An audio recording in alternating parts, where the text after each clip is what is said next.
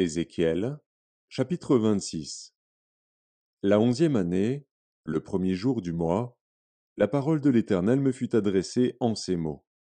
Fils de l'homme, parce que Tyr a dit sur Jérusalem, Ah, ah, elle est brisée, la porte des peuples. On se tourne vers moi, je me remplirai, elle est déserte. À cause de cela, ainsi parle le Seigneur, l'Éternel. Voici, j'en veux à toi, Tyr. Je ferai monter contre toi des nations nombreuses, comme la mer fait monter ses flots. Elles détruiront les murs de Tyr, elles abattront ses tours, et j'en raclerai la poussière. Je ferai d'elle un rocher nu. Elle sera dans la mer un lieu où l'on étendra les filets. Car j'ai parlé, dit le Seigneur, l'Éternel. Elle sera la proie des nations. Ses filles sur son territoire seront tuées par l'épée, et ils sauront que je suis l'Éternel. Car ainsi parle le Seigneur, l'Éternel. Voici, j'amène du septentrion contre Tyr Nebuchadnezzar, roi de Babylone, le roi des rois, avec des chevaux, des chars, des cavaliers et une grande multitude de peuples.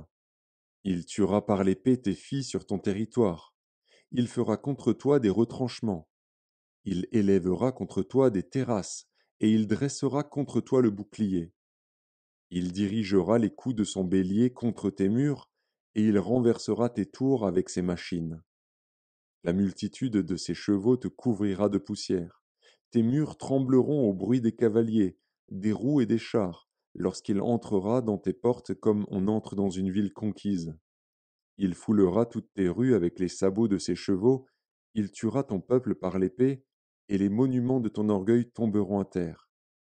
On enlèvera tes richesses, on pillera tes marchandises, on abattra tes murs, on renversera tes maisons de plaisance, et l'on jettera au milieu des eaux tes pierres, ton bois et ta poussière. Je ferai cesser le bruit de tes chants, et l'on n'entendra plus le son de tes harpes.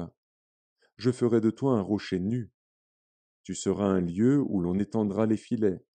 Tu ne seras plus rebâti. Car moi, l'Éternel, j'ai parlé, dit le Seigneur, l'Éternel. Ainsi parle à Tyr le Seigneur, l'Éternel.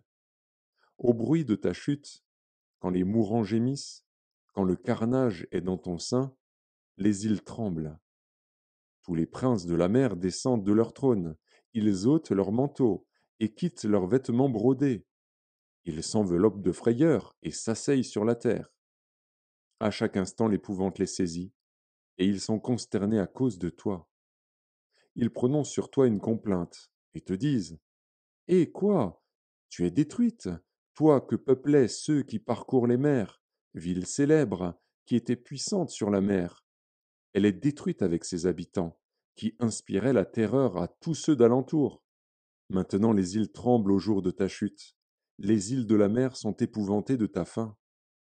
Car ainsi parle le Seigneur, l'Éternel, quand je ferai de toi une ville déserte, comme les villes qui n'ont point d'habitants, quand je ferai monter contre toi l'abîme, et que les grandes eaux te couvriront, je te précipiterai avec ceux qui sont descendus dans la fosse, vers le peuple d'autrefois, je te placerai dans les profondeurs de la terre, dans les solitudes éternelles, près de ceux qui sont descendus dans la fosse, afin que tu ne sois plus habité et je réserverai la gloire pour le pays des vivants. Je te réduirai au néant, et tu ne seras plus. On te cherchera, et l'on ne te trouvera plus jamais, dit le Seigneur, l'Éternel.